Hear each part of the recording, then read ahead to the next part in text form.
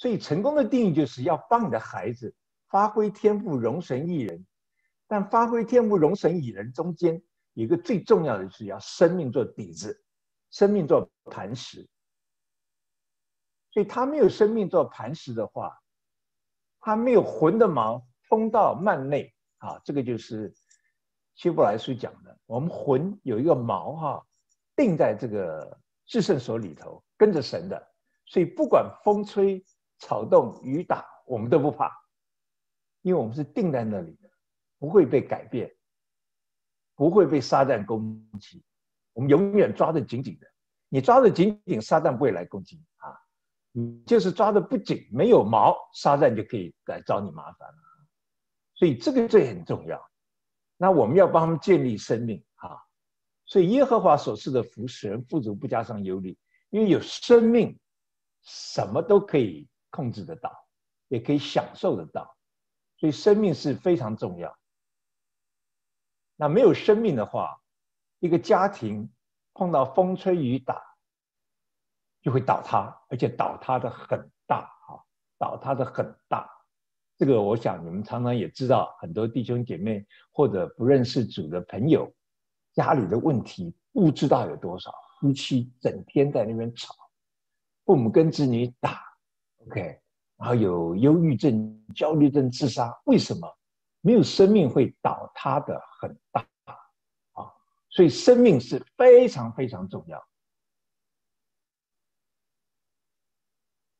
所以我们里头都有个灵，那不是信主的人也有这个灵，所以保罗说这是显出律法的功用，刻在他们心里，他们是非之心同作见证，并且他们的思念互相较量，或以为是，或以为非，就在神借耶稣基督审判人隐秘事的日子，照着我的福音所言，所以即使一个不信主的人。他也是要靠着他心里头的这个荣耀的 image，神给他荣耀 image 来判断他是不是凭着良心做事，所以良心就是一个有神荣耀的灵，就是良心，啊，就是良心。所以我们凭着良心做事，是说里面的荣耀的灵告诉我们什么应当做，什么不应当做。你照着荣耀的灵来做，就是照着良心做事。那这是没有圣灵的基督徒的。那神为什么要造我们，对不对？所以凡我名下的人，是我为自己的荣耀创造的，是我所做成、所造作的。所以很清楚，神为什么造我们，不是说哎呀要让你快乐，要让你平安，要给你啊，要让你享受啊，不是。那都是一个 side effect。神最重要就是我造你是为了我的荣耀，我要让大家都知道我的荣耀，我要在撒旦面前让知道我的荣耀，好，所以凡称为我名下的人，是我为自己的荣耀创造的，是我所做成、所造作的。所以因信耶稣基督加给一切相信的人，并没有分别。可是因为人有罪，耶和华说：“人既属乎血气，我的灵。”就不永远住在他里面，而他的日子可以到一百二十年。所以，因为犯罪，主耶和华的灵没有永远住在我们里面，那是在旧约里头，所以我们就缺乏了神的荣耀，造成了问题。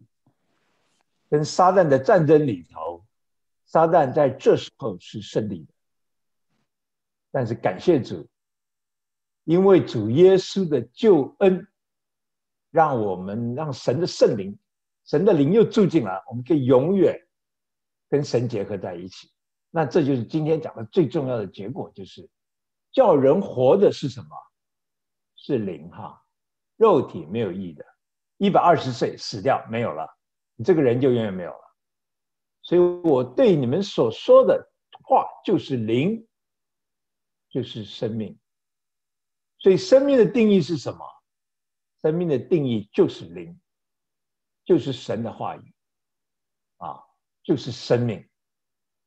所以这个我们的里面的灵，有圣灵在里头，能够跟神沟通，我们这个灵就活出来了，而且我们的这个灵可以不停的成长，不停的 mature，一天一天能够彰显更多神的荣耀。那像以亮姐妹讲的，最大的荣耀就是爱，因为神本身就是爱。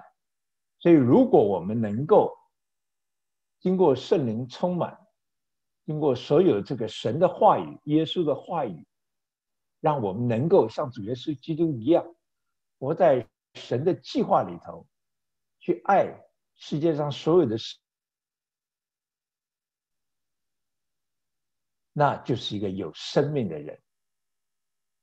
如果我们灵没有圣灵在里头，我们就没有生命，因为那是一个死的灵。OK。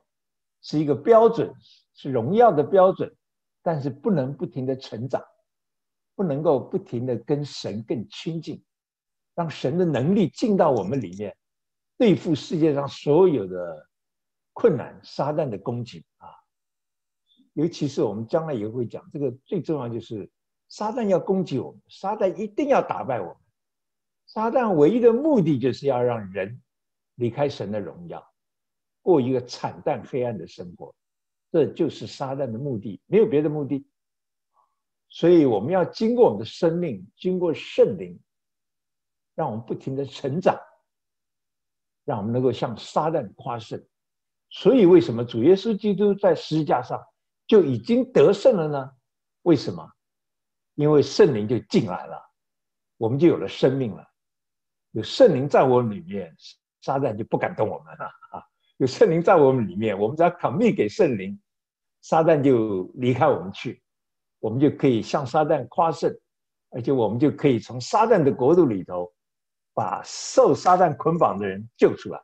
啊，只有你跟我有生命的人有这个权柄。